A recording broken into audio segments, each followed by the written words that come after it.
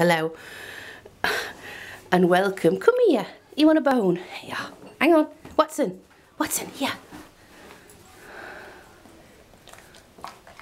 Is that nice? Right, no more bones. I'm to do the video, okay? Yeah?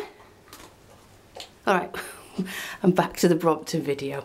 This is my uh, Flamingo Pink uh, M3 bike and it's got Kojak wheels on it, tyres sorry, and it's got a dynamo making the whole thing very heavy. You ready? Making the whole thing very heavy. I hardly ever use it. This is my home in England. That's my old bedroom door from when I was a kiddie widdy. And this is also a Brompton I've got.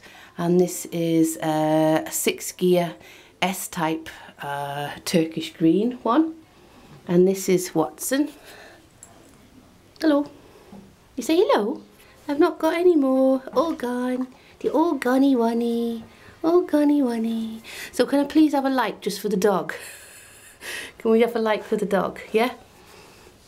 and anyway, so um, yeah, uh, I really like this colour. I don't know why Brompton don't do it anymore. I think that's a bit stupid taking it out of the programme.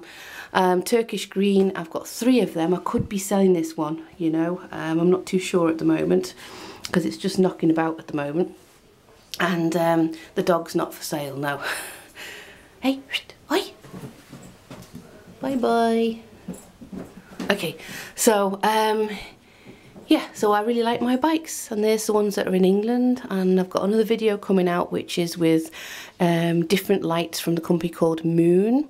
Um, they're on my brother's bike which is a titanium S2 and you'll see that in the next video. I will put that up at the same time as this one and um, yeah, happy Bromptoning. What do you think of the um, this year's 2017, uh, the new bikes. What do you think? I've had a little go on one today in Evans's. Um, it's all right, isn't it? And quite nice. But can we have some new colours other than like grey? Can we have a load of new colours? That'd be really good.